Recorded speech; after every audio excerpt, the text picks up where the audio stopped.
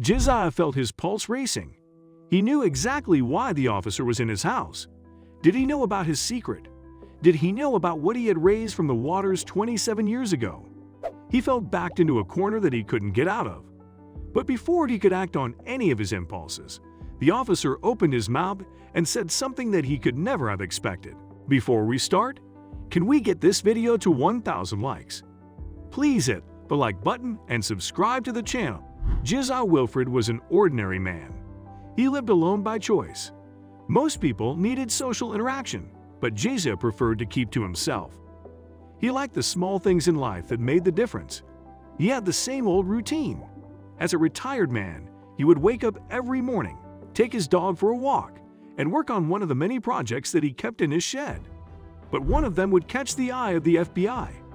Josiah had worked as an engineer for 30 years before he retired at the age of 55. The now 60-year-old was enjoying the retired life and enjoyed tinkering with anything he could get his hands on. He felt confident that he knew what he was doing when he worked on projects. He was one of the best and brightest engineers before he retired. But one of his projects took things too far.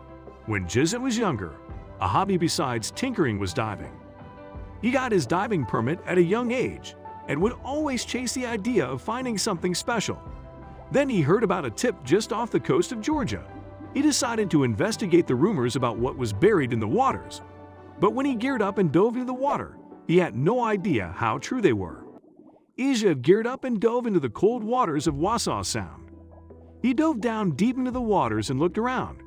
After a while, without seeing anything, he was close to giving up.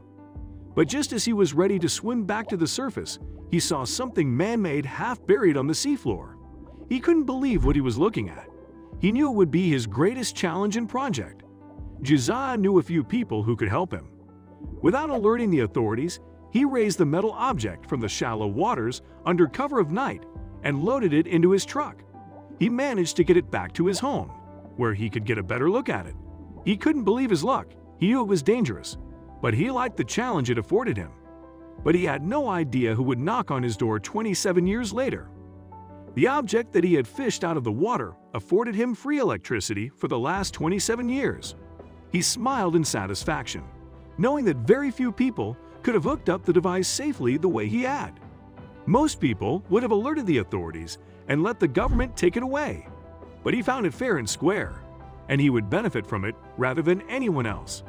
He knew if anyone found out about where his power came from, he could be gun in. So he had kept his project in his shed. No one ever went in there, and he almost never had guests, so it worked out. Now at the age of 60, Josiah thought he had gotten away with it. But he had no idea that his actions would have consequences, and he'd get a surprise visit from an unexpected visitor. One day, Josiah woke up and got into his usual routine. He put on a pot of coffee, got dressed, and took his dog out for a walk. He normally took him around the neighborhood for an hour.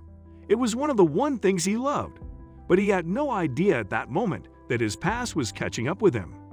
When he got back to his house, he barely had a moment to sit down before he heard a knock on his door. Josiah didn't often have guests, so he knew that it would be trouble. He prepared himself and opened his door a crack. It was a police officer. The officer said, Morning, sir. Could I ask you a few questions? Despite what he had done, Josiah respected law enforcement officers. Of course, officer. But he had no idea what the man had up his sleeve. Josiah felt his pulse racing. He knew exactly why the officer was in his house. Did he know about his secret? Did he know about what he had raised from the waters 27 years ago? He felt backed into a corner that he couldn't get out of. But before he could act on any of his impulses, the officer opened his mouth and said something that he could never have expected.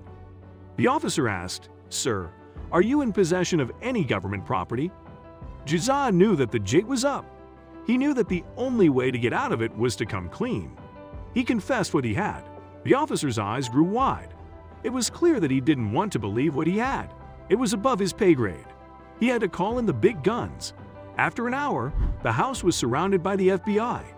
They searched his property and found the secret that he had been keeping for so many years.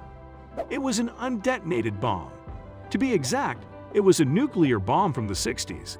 The bomb was on board a military aircraft. After it started having engine troubles, the pilot was forced to drop his payload into the shallow waters of Wassaw Sound.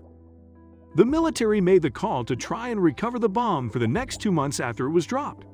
It seemed that luck wasn't on their side, and it became the last nuclear bomb that the military ever lost. It seems that Josiah was both lucky and unlucky to find the bomb when the military couldn't. What he thought was his right to find was something that the government thought differently about. They would raid Josiah's house and get an expert team to remove the bomb from his property. They took it away and presumably dismantled it. But what happened to Josiah? There have been no reports on whether or not Josiah had to pay a fine or faced any consequences of any kind. Normally, someone would be arrested, but it's not surprising since the government would rather keep things like that classified.